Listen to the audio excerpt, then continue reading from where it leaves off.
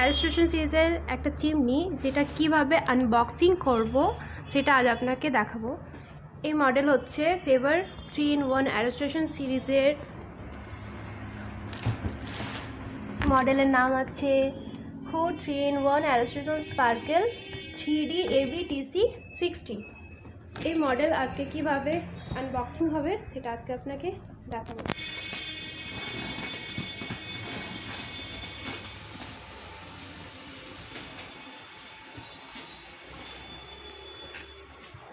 আচ্ছা ফার্স্ট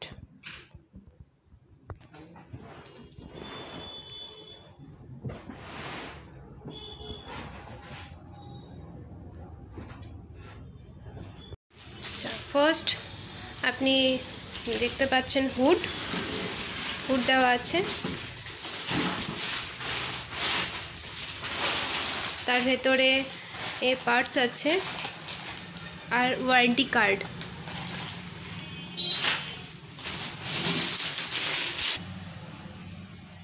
এটা হচ্ছে হুড।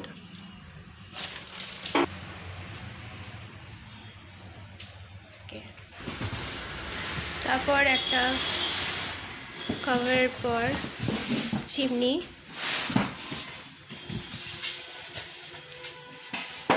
যেন চিমনির মধ্যে কোনো স্ক্র্যাচ ট্যাচ না হয়ে যায়, ওই জন্য ভালোভাবে প্যাকিং করা আছে।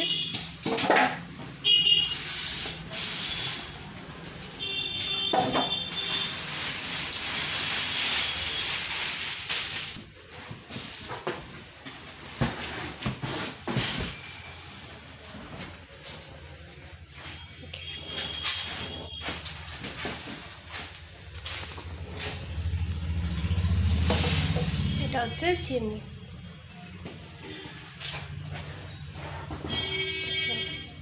এটা অ্যারোসেশন সিরিজ। এটা হুড যে মেশিন। এর ভেতরে এটা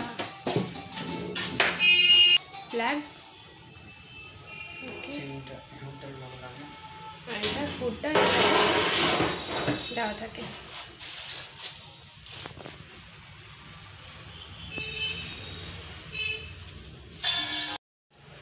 চিমনি, চিমনির মধ্যে যে বাফেল থ্রি লেয়ার ফিল্টার সেটা লাগানো আছে। এটা খোলা যায় এইভাবে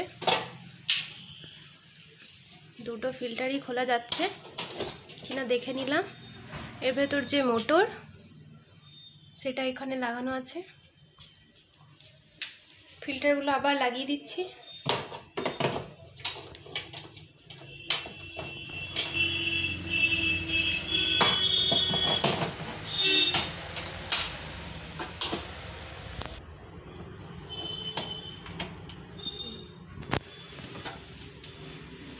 দুটো এলইডি লাইট ঠিক দেওয়া আছে। গ্লাস রিড যেটা, সেটাও ঠিক আছে। এটা টাচ কন্ট্রোল আছে। টাচ প্যানেলে বাটনগুলো আছে। এখানে অ্যারো স্টেশন বাই ফেভার লেখা আছে। এর যে পুরো বডি টেক্সচার বডি বেশ দেখতে ভালো লাগছে। মানে ফেভার কোম্পানির যে ব্র্যান্ড হুডের মধ্যে দেওয়া আছে থ্রি ওয়ে সাকশনের যে সাইড সাকশন সেটা এইভাবে সাইডে দেওয়া আছে। আর এই হচ্ছে এয়ার পিউরিফিকেশন যে ফিল্টার সেটা উপরে। হুডের সাইড আপনার এভাবে ফাঁকা থাকে। এখানে কি আছে?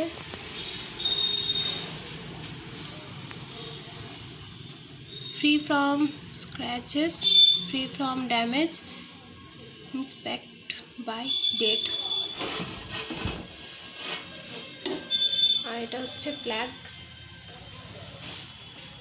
আর এখান থেকে আপনার যে ডাক্টিং পাইপ সেটা এখান থেকে লাগানো হবে।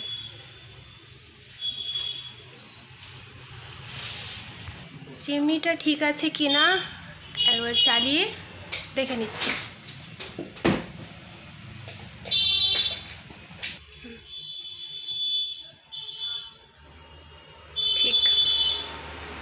ইন্ডাকশনের বাটন ঠিক কাজ করছে। এবার লাইট এটা স্পিডের স্পিডের বাটনও ঠিক কাজ করছে। ওকে